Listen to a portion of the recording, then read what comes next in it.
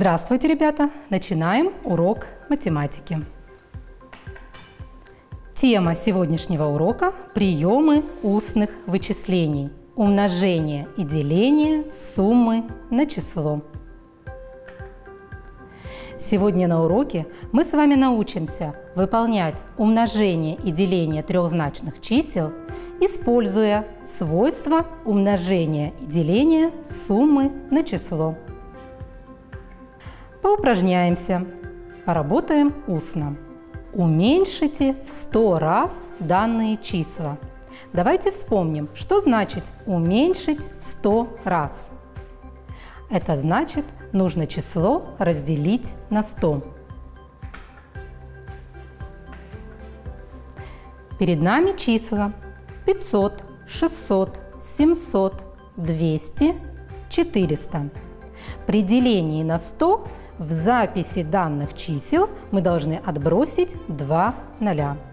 И получаем 500 разделить на 100 – 5, 600 разделить на 100 – 6, 700 разделить на 100 – 7, 200 разделить на 100 – 2 и 400 разделить на 100 – 4.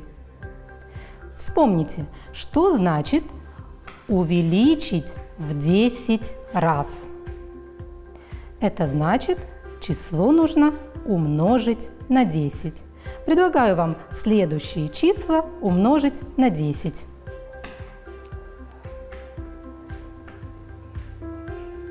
Итак, 9 умножаем на 10. Получаем 90. 15 умножаем на 10 получаем 150. 20 умножаем на 10 – 200. 8 умножаем на 10 – 800. 23 умножаем на 10 – 230. Предлагаю теперь, ребята, вспомнить вам некоторые свойства арифметических действий. Первое свойство – это переместительное свойство умножения – от перестановки множителей произведение не меняется. Где же можно применить данное свойство? Например, легче 12 умножить на 8, чем 8 на 12. Следующее свойство – умножение суммы на число. Чтобы умножить сумму на число, можно умножить на это число каждое слагаемое и результаты сложить. Где мы можем применить данное свойство?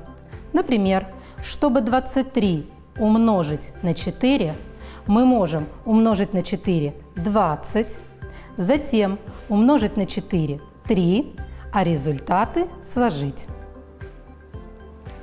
Следующее свойство – деление суммы на число. Как же звучит это свойство? Чтобы разделить сумму на число, можно разделить на это число каждое слагаемое, а результаты сложить. Например, чтобы 56 разделить на 4, мы представим 56 как 40 и 16. Разделим 40 на 4 и 16 на 4, а результаты деления сложим. Эти знания, ребята, сегодня нам пригодятся при решении примеров. Рассмотрим следующие примеры. Как же 240 умножить на 3? Нужно 240 представить в виде суммы 200 плюс 40. Умножаем 200 на 3, получаем 600. Умножаем 40 на 3, получаем 120. Складываем результаты умножения, получаем 720. Рассмотрим следующий пример. 203 умножить на 4. 203 представляем в виде суммы 200 плюс 3. Умножаем 200 на 4, получаем 800. Умножаем 3 на 4, получаем 12. 800 и 12 дают нам ответ 812. Предлагаю вам решить задачу. Дедушка купил 5 одинаковых пакетов с картофелем, общая масса которых 15 килограммов. Витя помог дедушке и донес два пакета. Сколько килограммов картофеля нес Витя? Представим краткое условие задачи в виде таблицы. В задаче говорится, что дедушка купил 15 килограммов картофеля, которые были в пакетах, и таких пакетов было 5. Два из этих пакетов нес Витя. Сколько же килограммов было в этих двух пакетах? Можем ли мы сразу ответить на вопрос задачи? Нет, так как мы не знаем массу одного пакета. Но данные, записанные в первой строке нашей таблицы, помогут нам это узнать. Для этого 15 разделим на 5, получим 3 килограмма. Это масса одного пакета. Два таких пакета нес Витя. Следовательно, мы 3 умножим на 2, получаем 6 килограммов. Запишем ответ. 6 килограммов картофеля нес Витя. Предлагаю решить следующую задачу. Ежедневно на поливку грядок расходовали утром 6 ведер воды, а вечером 9 ведер. Сколько ведер воды израсходовали на поливку грядок за неделю? Решите задачу двумя способами. Ребята, вы знаете, что неделя – это 7 дней. Грядки поливали утром и вечером на протяжении недели. В задаче говорится, что утром поливали по 6 ведер, а вечером по 9 ведер. Нам нужно узнать, сколько всего за неделю было израсходовано ведер воды. Авторы учебника предлагают нам найти два способа решения данной задачи. Давайте рассмотрим первый способ –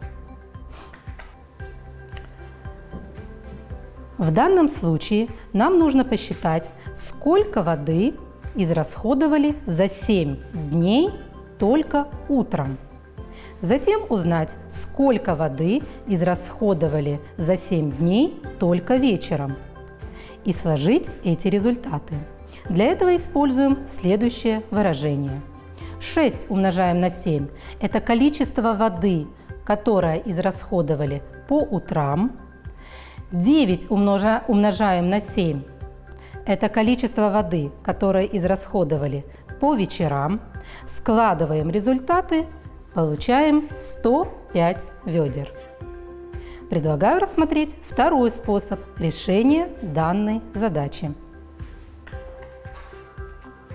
Для этого мы можем узнать, сколько воды расходовали каждый день и утром, и вечером – Узнав это, умножим на количество дней и получим 105 ведер. Запишем ответ. 105 ведер воды израсходовали на поливку грядок за неделю.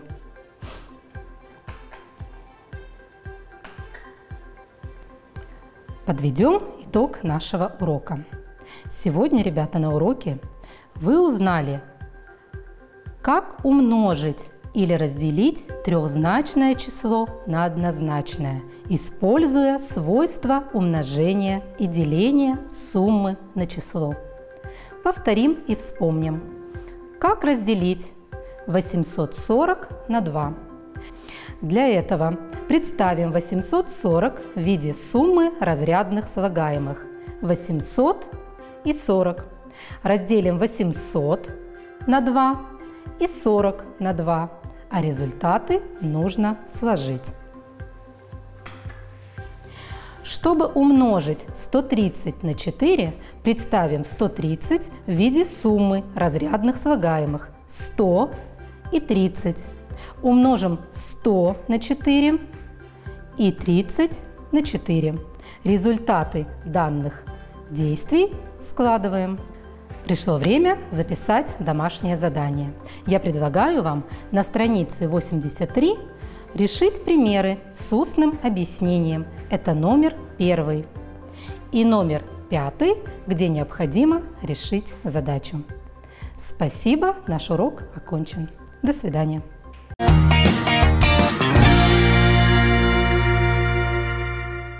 Здравствуйте, ребята! Я рада приветствовать вас на уроке русского языка. Интересная часть речи в русском языке живет. Кто что делает, расскажет, чертит, пишет и поет, вышивает или пашет, или забивает гол, варит, жарит, моет, чистит. Все расскажет нам глагол. Мы продолжаем путешествовать по городу глагол. Сегодня мы вспомним, как определить время глагола. Будем учиться различать временные формы глагола и употреблять в речи. Послушайте стихотворение, назовите глаголы. Снег теперь уже не тот, потемнел он в поле, на озерах треснул лед, будто раскололи. Какое действие обозначают эти глаголы? Потемнел, треснул, раскололи. Эти глаголы обозначают действие, которое уже произошло до момента речи, следовательно, прошедшее время. Солнце ласково смеется, светит ярче, горячей, из пригорка звонко льется разговорчивый ручей. Эти глаголы обозначают действие смеется, светит льется, которое происходит в данный момент речи, настоящее время.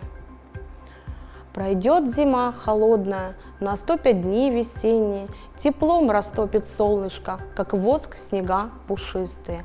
А какое действие обозначают эти глаголы? Пройдет, наступит, растопит. Какое действие обозначают эти глаголы? Эти глаголы обозначают будущее время. Это действие, которое будет происходить после момента речи. Будущее время – это самое интересное время. В русском языке будущее время может быть выражено как одним глаголом, так и двумя глаголами. Например, нарисую – буду рисовать, прочитаю – буду читать. Буду рисовать и буду читать – это не два глагола, это один глагол, а буду – это помощник слову рисовать и читать. Ребята, если вас попросят подчеркнуть сказуемое в предложении «я буду читать», вы должны подчеркнуть его вот так. Нам очень повезло. В русском языке всего три времени года. В европейских языках 12 или 16 времен. Мы никогда не сможем определить время глагола, если что-то будем требовать или просить. Например, принеси, унеси, подай, скажи. Наша Таня громко плачет, уронила в речку мячик. Тише, Танечка, не плачь, не утонет в речке мяч. Выделите глаголы и укажите время. Выполним проверку. Наша Таня громко плачет. Таня что делает? Плачет. Настоящее время. Уронила в речку мячик. Что сделала? Уронила. Прошедшее время. Тише, Танечка, не плачь. А вот в глаголе не плачь нельзя указать время, так как не плачь это просьба или даже приказ Тане не плакать, неопределенная форма глагола. Не утонет в речке мяч. Мяч что сделает? Не утонет. Это будущее время. Глаголы изменяются по временам. Форма времени глагола показывает, когда происходит действие. Настоящее время – действие, которое происходит сейчас. Что делает? Учит уроки. Прошедшее время действие происходит до того, как о нем стали говорить. Что делал? Учил уроки или что сделал? Выучил уроки. Будущее время – действие, которое происходит после того, как о нем скажут. Что будет делать? Будет учить уроки. Чтобы определить время глагола в предложении, нужно, первое, задать вопрос и убедиться, что это глагол. Второе, определить, в какой момент происходило или происходит действие. И третье, определить время глагола. Поработаем с предложением. Седые туманы плыли к облакам. Грамматическая основа этого предложения – туманы плыли. Туманы что делали? Плыли. Действие происходило до того, как о нем стали говорить. Следовательно, глагол «плыли» прошедшего времени. Послушайте стихотворение «Время глагола». Выпишите глаголы, распределив три столбика. Первый столбик – прошедшее время, второй столбик – настоящее и третье – будущее время. Прошедшее время сказала о том, как листья желтели над чистым прудом. Смотрите, друзья, в настоящем со мной, как ярко цветы полыхают весной. А в будущем времени сможем узнать, как будут ребята расти и мужать. Выполним проверку. Итак, в первый столбик «Прошедшее время» вы должны были выписать следующие глаголы. «Сказало», «желтели». Второй столбик «Настоящее время». Смотрите, полыхают. И третий столбик «Будущее время». Сможем узнать, будут расти и будут мужать. Следующее упражнение. От глаголов «говорить», «сказать», «посылать» образуйте формы настоящего, прошедшего и будущего времени. Сделайте вывод. Выполним проверку. Глагол «говорить» отвечает на вопрос «что делать?». В настоящем времени «я говорю», в прошедшем времени «он говорил», в будущем времени «буду говорить». Глагол «сказать» отвечает на вопрос «что сделать?». Настоящего времени нет. Прошедшее время «он сказал», будущее «скажу». Посылать – что делать? Настоящее время «я посылаю», прошедшее «посылал» и будущее время «буду посылать».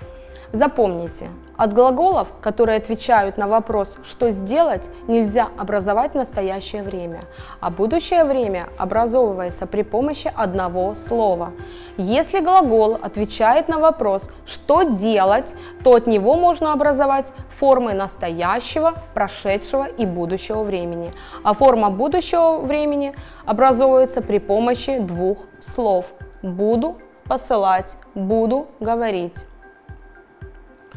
Подберите к существительным однокоренные глаголы в указанном времени. Выполним проверку. Работа. Однокоренной глагол «я работаю». Рисунок. Мы рисуем. Письмо. Однокоренное слово, глагол пишет. Саша пишет. Дежурный. Миша дежурил. Зелень. Травка зеленела. Мороз. Река. Что сделала? Замерзла ремонт мы э, отремонтируем, путешествие туристы будут путешествовать, завтрак дети будут завтракать. Подведем итоги урока. Глаголы изменяются по временам. Форма времени глагола показывает, когда происходит действие.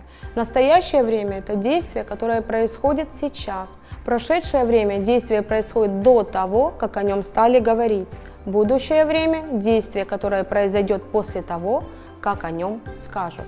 Переходим к домашнему заданию. На страничке 112 вам надо будет выполнить упражнение 197, а именно внимательно прочитайте задание этого упражнения, спешите, вставьте пропущенные буквы и укажите время глаголов. Я думаю, вы с этим упражнением справитесь на отлично. До свидания, до следующего урока.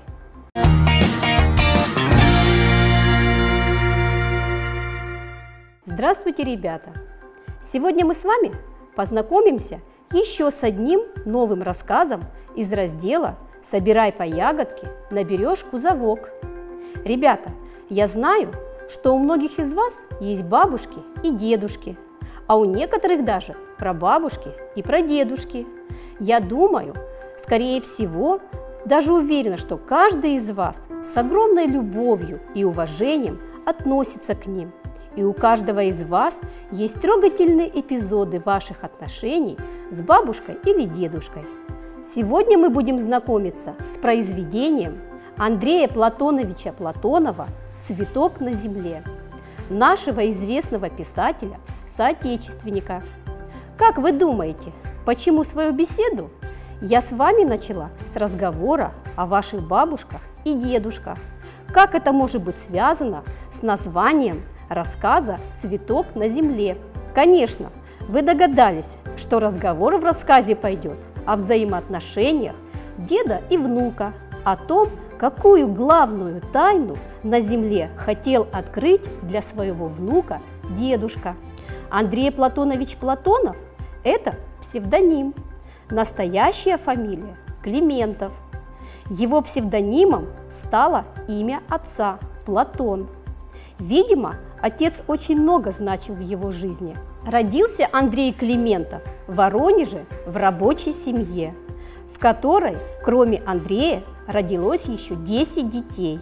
Андрей Платонов помогал родителям в воспитании братьев и сестер, а позже начал помогать материально.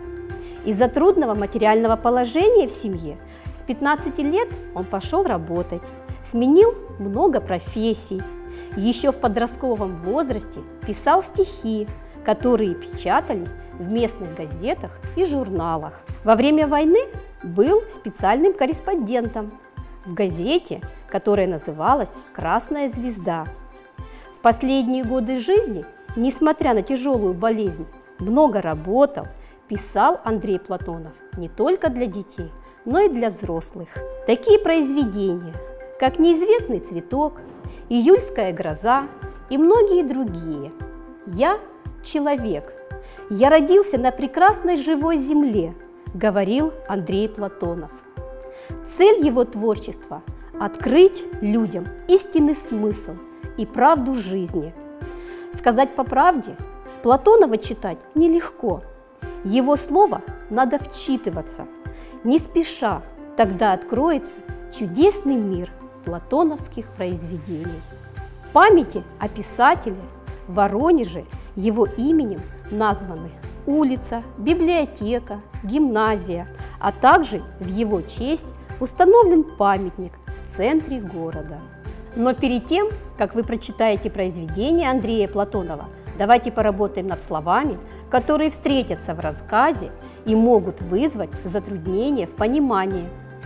Уморились, устали, нынче, сегодня, глаза смежать, закрывать, осерчал, рассердился. При чтении в рассказе мы также столкнемся со сложными словами в произношении. Давайте мы все вместе прочитаем эти слова по слогам. Просыпается, равнодушно, деревянного, жалконький, подкарауливать, непонятливый.